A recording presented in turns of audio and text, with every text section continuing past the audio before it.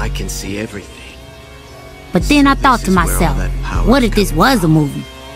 Look, fuck you, fuck the plane you flew in on, fuck them shoes, fuck those socks with the bell on it, fuck your gay ass fairy faggot accent, fuck them cheap ass cigars, fuck your yuck mouth teeth, fuck your hairpiece, fuck your chocolate, fuck Guy Ritchie, fuck Prince William, fuck the Queen. This is America.